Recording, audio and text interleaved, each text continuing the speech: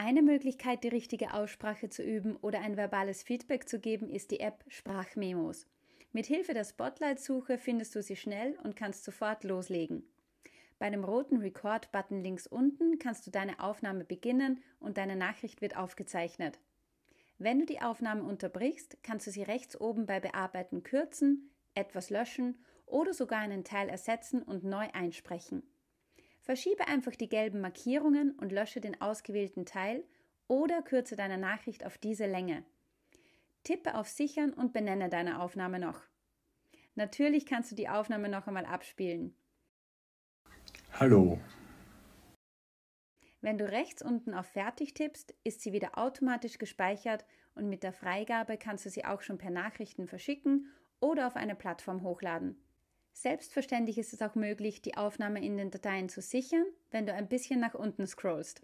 Welche Nachricht verschickst du nun?